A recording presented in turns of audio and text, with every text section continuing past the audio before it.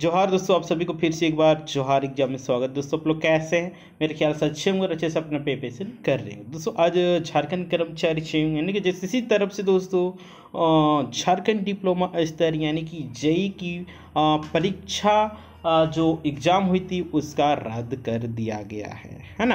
आ, किस डेट वाला को याद कर दिया मतलब रद्द कर दिया है दोस्तों? पूरा पूरी रद्द नहीं किया सिर्फ़ एक ही डेट को याद किया है ना? जो कि देखिए ये आप लोग का विज्ञापन संख्या चार ओब्लिक दो हज़ार तेईस है एवं पाँच ओब्लिक दो हज़ार तेईस है ना? देखिए, सूचना नंबर आप लोग का कितना है? सत्रह है है ना? देखिए, आज ही की तिथि को हुआ था छः अक्टूबर दो हज़ार तेईस ईस्वी को। देखिए, आगे यहाँ पे क्या लिखा हुआ है?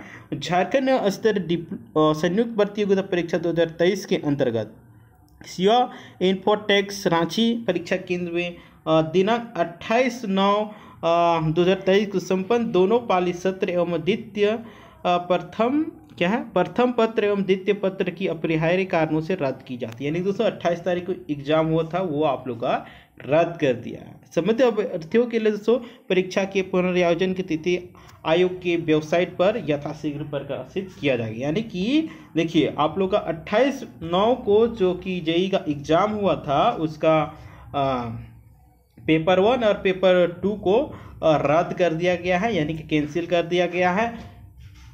तो आप लोग को उसके लिए फिर से उसका डेट निकाला जाएगा, ठीक है?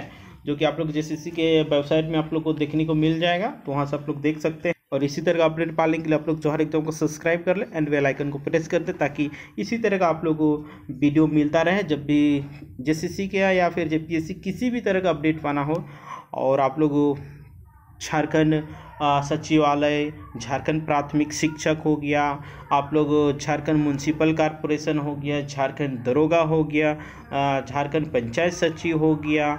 इन सभी की अगर तैयारी करते होंगे तो आप लोग के लिए चैनल बिल्कुल ही सही जग, सही है, ठीक है? क्योंकि आप लोग को यहाँ पे इसी के रिलेटेड आप लोग को वीडियो प्रोवाइड करवाया जाता है और खोटा का लगातार प्रैक्टिस सेट यहाँ पे करवाया जा रहा है तो आप लोग उसको देखना ना भूलें। और जितने भी आप लोग सगे संबंधी होंगे उन लोगों को भी और भेजना ना भूले, ताकि वो लोग भी देख सके और अपने एग्ज़ाम में अच्छा खासा स्कोर कर सके। तो चलिए, आज के लिए इतना ही।